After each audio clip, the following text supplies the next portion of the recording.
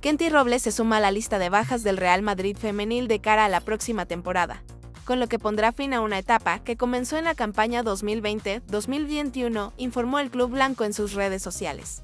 Ha sido un honor contar con una deportista ejemplar como tú en las cuatro primeras temporadas de nuestra historia. Nuestros mejores deseos en esta nueva etapa, Kenty Robles escribió al Real Madrid en su perfil oficial de X.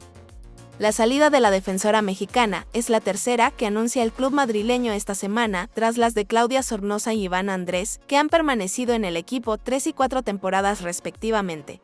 La mexicana jugó con el conjunto merengue más de 100 partidos en todas las competencias, anotando cuatro goles a lo largo de tres temporadas. En la Liga Española jugó 93 juegos, 71 de ellos como titular, mientras que entre Copa de la Reina y Supercopa sumó 8 duelos, 6 de inicio y los otros 2 al entrar de cambio. En la Champions League disputó 23 partidos y anotó un gol. El palmarés de Kenty Robles en Liga Española consta de 4 Copas de la Reina, 1 con el Español, 2 con el Barcelona y 1 con el Atlético de Madrid, 6 Ligas de España, 3 con el Barcelona y 3 con el Atlético de Madrid.